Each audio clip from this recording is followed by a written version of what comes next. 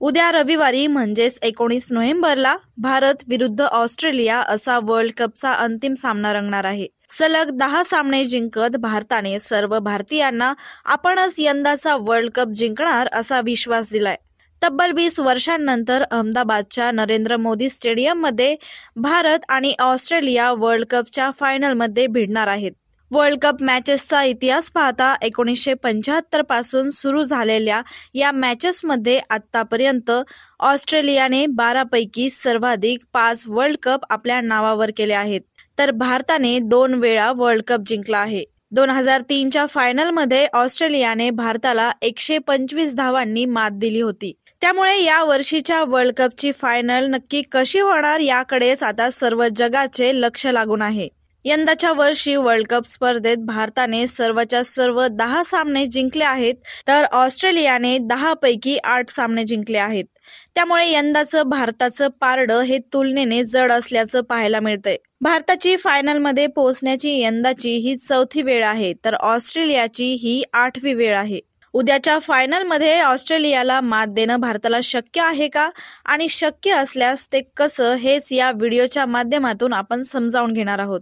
आपण आता जाणून घेणार आहोत की फलस्थानं नेमकी कुठली कुठली आहेत. कारण मॅच भारतात होतीये त्यामुळं भारताचंच पारडं जड राहणार आहे. दुसरी गोष्ट अशी की ह्या वर्षीच्या विश्वकरंडक स्पर्धेमध्ये भारताने जे सातत्य राखलं आहे ते सातत्य दुसऱ्या कुठल्याही संघाने राखू शकलेले नाही आहेत एक मुद्दा असा आहे की भारताने पहिल्या मॅचपासून ते साखळी लढतीतल्या दहाव्या मॅचपर्यंत सगळ्या टीम्सला हरवलं आहे आज आपण विचार करतो की इंडिया आणि ऑस्ट्रेलिया हे दोन संघ अंतिम फेरीत दाखल झालेत. अहमदाबादला येत्या रविवारी त्यांची मॅच होणार आहे. विजेतेपद कोणाचा दावा असेल? तर मला असं वाटतं की घरच्या मैदानावर भारतीय संघ हा कधीही सरस असतो हे आजपर्यंत दिसून आलेलं आहे. अगदी दोन्ही संघाची बलस्थानं आणि कमकुवत दुवे असं जर सांगायचं झालं तर भारताचे कमकुवत दुवे पटकन सांगताही येणार नाहीत. इतकी आपली आपली टीम सातत्य राखतीये. पहिला मुद्दा ऑस्ट्रेलियाच्यासाठी असा असेल की ऑस्ट्रेलियाची जी एक स्ट्रेंथ होती की पहिले सहा खेळाडू हे त्यांचे बॅटिंग ऑलराऊंडर मानले जायचे नंतरचे पाच खेळाडू हे बॉलिंग ऑलराऊंडर मानले जायचे. त्यामुळं त्यांचा संघ एकोणीसशे सत्त्याऐंशीला पहिल्यांदा विजेता ठरला. तेव्हापासून त्यांनी दोन हजार पंधरापर्यंत आपलं सातत्य टिकवलं. जसं वेस्ट इंडिजच्या बाबतीत बोललं जातं की प्रमुख खेळाडू निवृत्त झाले किंवा दुखापतीने बाहेर गेले आणि त्यांना सेकंड बेंच चांगला मिळाला नाही आज त्याच फेजमधून ऑस्ट्रेलियाचा संघ जातोय. आणि ह्याच्याबरोबर उलटं आपली परिस्थिती आहे की आपल्याला कमकुवत मानलं जायचं आणि ह्या स्पर्धेपासून किंवा थोडंसं मागे जाऊन सांगायचं झालं तर आशिया चषक स्पर्धेपासून आपली फलंदाजी क्षेत्ररक्षण नेतृत्व हे तर योग्यच होत होतं. त्याची चर्चा आपल्या फलंदाजीची नेहमीच होते. पण ह्या वेळेला पहिल्यांदा असं घडलं की भारताच्या गोलंदाजीची चर्चा व्हायला लागली. ह्याचं कारण असं की आपण भारतात मॅच खेळत असताना सुद्धा आपण तीन वेगवान बॉलर खेळवतोय. आणि त्याच्यातही आपल्याला जास्त आपण टार्गेट केलं होतं जसप्रीत बुमराला की तो आपला एक प्रमुख गोलंदाज आहे म्हणून. पण खरं तर मोहम्मद शमीनी ह्या सगळ्यांचे अंदाज खोटे ठरवले आणि मोहम्मद शमी हा एक हाती विकेट घेत राहिला. आपण पहिल्या काही सामन्यांमध्ये जिंकलो तेव्हा मोहम्मद शमी आपल्या संघाचा भाग नव्हता. पण जेव्हा त्याला संधी मिळाली त्या संधीचं त्यांनी सोनं गेलं. एक थोड्या आकडेवारीत आपण गेलो तर तो बावीस विकेट किंवा तेवीस विकेट घेईल असं कधीही वाटलं नव्हतं. ते ह्या स्पर्धेत त्यांनी केलं. उपांत्य फेरीच्या न्यूझीलंड विरुद्धच्या सामन्यात त्यांनी सात बळी घेतले. हा एक विश्वकरंडक स्पर्धेतला एक मोठा विक्रम ठरला. ह्याचबरोबर आपले फिरकी गोलंदाज ज्याला आपण रवींद्र जडेजा आणि कुलदीप यादव म्हणून आपण त्यांना बघतो तर ह्या दोघांनाही ह्या खेळपट्ट्यांवर खूप मदत मिळाली. त्याचा लाभ आपल्या टीमला झाला की जी मधली फळी होती ज्या पहिली पंधरा षटकं संपल्यानंतर शेवटची दहा षटकं सुरू व्हायच्या आधी मधली जी पंचवीस षटकं असतात ह्याच्यामध्ये तुमची स्ट्राईक रोटेट होत असते. एखाद्या खराब चेंडूवर चौकार किंवा षटकार मारला जातो. जास्तीत जास्त सावध फलंदाजी केली जाते की शेवटच्या दहा षटकांमध्ये तुमच्या हातात किमान पाच विकेट राहाव्यात. तर हे तत्व आजपर्यंत जगातले सगळे देश बघायचे. ही फर्स्ट टाईम असं झालं की हे सगळं आपण आता करायला लागलोय.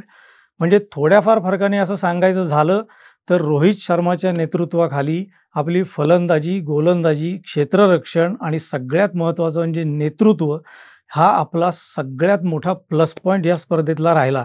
दोन हजार तीनच्या स्पर्धेमध्ये ऑस्ट्रेलियाने सलग दहा सामने जिंकले आणि मग ते अंतिम फेरीत पोहोचले. त्यावेळेला भारताने आठच सामने जिंकले होते आणि तरीही भारत अंतिम फेरीत गेला होता. यावेळी आपल्याला निराशा सहन करायला लागली होती. ऑस्ट्रेलियाने आपला पराभव केला होता. पण वीस वर्षानंतर आज पुन्हा इतिहास त्याच वळणावर येऊन उभा आहे की ऑस्ट्रेलियाने आठ सामने जिंकून उपांत्य फेरी गाठली होती. आता त्यांनी अंतिम फेरी गाठली आणि भारतीय संघाने सलग दहा सामने जिंकून अंतिम फेरी गाठली. जर हा योगायोग भारतासाठी अनुकूल असेल असं जर मानलं तर आपली टीम ह्या वर्षी करंडक उंचावेल असा ठाम विश्वास वाटतो. एक गोष्ट याच्यामध्ये नमूद करायची झाली की मर्यादित षटकांच्या सामन्यात ज्याला आपण वन डे म्हणू किंवा टी ट्वेंटी म्हणू तिथं तुमच्या संघामध्ये जास्तीत जास्त अष्टपैलू खेळाडू असणं हे अत्यंत गरजेचं असतं. कारण त्या एका षटकामध्ये त्या एका स्पेलमध्ये तो संपूर्ण सामना बदलू शकतो. ही अष्टपैलूंची ताकद असते. ही इतके वर्ष ऑस्ट्रेलिया थाटानी मिरवत होती. की त्यांच्याकडे सगळ्यात जास्त अष्टपैलू असायचे. आज ती परिस्थिती भारतीय संघाच्या बाबतीत आहे. कर्मधर्म सहयोगाने असं आपलं म्हणावं लागतं की रोहित शर्मा शुभमन गिल विराट कोहली लोकेश राहुल आणि श्रेयस अय्यर हे धडाकेबाज फलंदाजी करतातच आहेत. पण आपण मधल्या काही मॅचेस जर पाहिल्या तर आपल्या असं लक्षात येईल की कुलदीप यादव नाही रवींद्र जडेजा नाही तर मोहम्मद शमीनी सुद्धा खेळपट्टीवर थांबून धावा केलेल्या आहेत.